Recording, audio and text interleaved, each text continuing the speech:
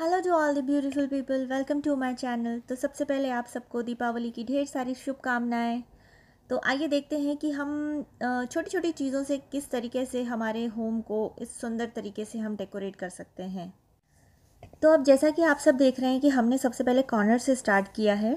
और गाइस यकीन मानिए, अगर आपने कॉर्नर्स को अच्छी तरह से डेकोरेट किया हुआ है तो आप अपने होम इंटीरियर की जो ब्यूटी है, उसको आप 40 परसेंट तो आप ऐसे ही बढ़ा देते हैं। तो ये देखिए, मैंने यहाँ पे प्लास्टिक के इस तरह से जो रंगोली के जो स्टिकर्स आते हैं, वो मैंने यूज़ किए हैं। उसके साथ में मैंने यहाँ पे एक लैम्प यूज़ किया है। और आप इस तरीके से किसी भी बॉल के अंदर आप पानी भर के उसमें फ्लावर्स रख सकते हैं। उसमें आप फ्लोटिंग कैंडल्स डाल सकते हैं। और ये देखिए जब हमने सारी कैंडल्स को जला दिया है तो ये देखिए कितना सुंदर दिखाई दे रहा था। अब नेक्स्ट पार्ट आता है कॉफ़ी टेबल का, यानी कि सेंटर टेबल का। तो देखिए सेंटर टेबल के लिए भी आपको ऐसा कुछ नहीं कि आपको बहुत ज़्यादा डिज़ाइनर डेकोरेटिव कुछ लाने की ज़रूरत है। आपके पास में अगर इस तरह के लंबे वासेस हैं तो इट्स ओके okay. और अगर नहीं है तो आप नॉर्मल आपके जो ग्लासेस होते हैं, कांच के पानी के ग्लासेस होते हैं, आप उनको इस तरीके से आप यूज़ कर सकते हैं। तो देखिए, यहाँ पे किस तरीके से मैंने जो मेरा वास की जो हाइट है, उसके हिसाब से मैंने इन फ्लावर्स को कट किया है ताकि वो अंदर उसमें डिप हो जाए पानी में और इस तरीके से मैं रख रही हूँ। अब, आप चाहें तो इनमें आप आर्टिफिशियल फ्लावर्स भी रख सकते हैं, लेकिन अगर आप इनमें नेचुरल फ्लावर्स और नेचुरल लीव्स अगर आप डालेंगे तो वो ज़्यादा खूबसूरत दिखाई देंगे। एक चीज़ गाइज़ हमेशा ध्यान रखिए, जब भी आप इस तरह का कुछ सेंटर पीस बना रहे हैं या आप टेबल डेकोर कर रहे हैं तो सबसे पहले आपके पास में जो जो चीज़ें अवेलेबल है घर में, वो सारी चीज़ें आप एक साथ इकट्ठी कर लीजिए और फिर आप देखेंगे कि आपके पास में इतनी सारी चीज़ें इकट्ठी हो जाती हैं कि आप उन सब चीज़ों का इस्तेमाल भी नहीं कर पाएँगे।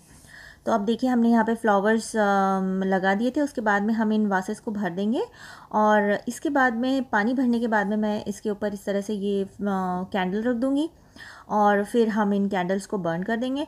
और यहाँ पे देखिए भाई, त्यौहार का टाइम है तो काजू बादाम तो चाहिए गेस्ट के लिए।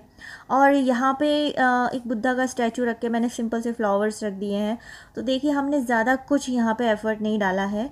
और बहुत ही सिंपल तरीके से हमने जो है ये सेंटर पीस हमारा सेंटर टेबल जो है, हमारा हमने डेकोरेट कर दिया है। And guys believe me it is looking amazingly beautiful don't you think so तो ऐसा कुछ नहीं है कि आपको कुछ पर्टिकुलर डेकोरेशन के लिए आपके पास में बहुत हाई फाई या बहुत महँगी चीज़ें होना बहुत ज़रूरी होता है।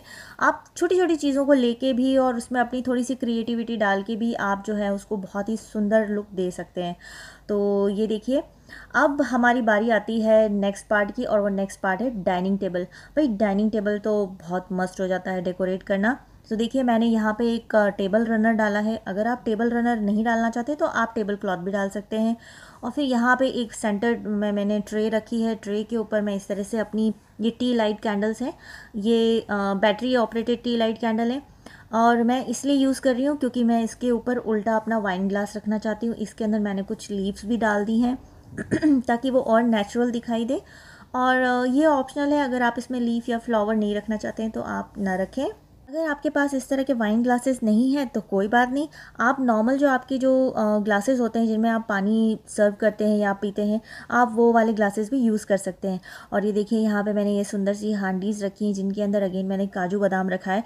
भाई, मिठाइयाँ तो हम बाद में सर्व करेंगे, इसे ही खाने के साथ में पकवान देंगे, इसे ही। लेकिन टेबल पर सबसे पहले काजू बादाम तो होने ही चाहिए। तो और उसको भी मैंने इस तरह से गेंदे के फूल से डेकोरेट कर दिया है। और जैसे कि आप देख रहे हैं कि मैं यहाँ पे बहुत ही नॉर्मल डेकोरेशन आपको बता रही हूँ। और ये देखिए, इस तरह से आप अपनी प्लेट्स को डाइनिंग टेबल के ऊपर बिल्कुल डेकोरेट करके रख दीजिए। बिल्कुल सजा के रख दीजिए ताकि जब आपके गेस्ट आएँ तो आप उनके साथ ज़्यादा से ज़्यादा समय बिता सकें, बजाय इसके कि आप एट द सेम टाइम आप लगे हुए हैं टेबल जमाने के लिए। और अब ये देखिए, हमने यहाँ पे इस तरीके से डेकोरेट कर दिया है कंप्लीट हो गया है डेकोरेशन और जब हमने इन कैंडल्स को बंद कर दिया है ऑन कर दिया है, उसके बाद में देखिए आपका ये टेबल डेकोर कितना खूबसूरत दिखाई दे रहा है। तो एक चीज़ का आप हमेशा ध्यान रखिए, यदि आप कोई पर्टिकुलर कलर थीम यूज़ कर रहे हैं तो आप वो कीजिए। और अगर आप बोहेमन थीम बनाना चाहते हैं, यानी आप मल्टी कलर यूज़ करना चाहते हैं तो आप वो भी कर सकते हैं। अब जैसा कि यहाँ पे मेरा टेबल वुडन है ब्राउन है तो मैंने उस हिसाब से यहाँ पे अपनी सारी चीज़ों को अरेंज किया है। And it is looking it is looking very very very beautiful आपका क्या विचार है इस बारे में, मुझे ज़रूर बताइएगा। सो so गाइस मैं आपसे कहना चाहती हूँ कि मेरे चैनल पे ये डेकोर टिप्स जो हैं, ये तो बस एक शुरुआत है। अभी और भी इस तरह के मैं आपको टेबल डेकोर दिखाने वाली हूँ जो कि बहुत ही इजी हैं और बहुत ही कम खर्चे में आप बना सकते हैं। तो मेरे साथ बने रहिए, देखते रहिए डिज़ाइन एंड क्रिएटिविटी चैनल और मेरे वीडियो को लाइक करना शेयर करना और मेरे चैनल को सब्सक्राइब करना ना भूलिए। Love you bye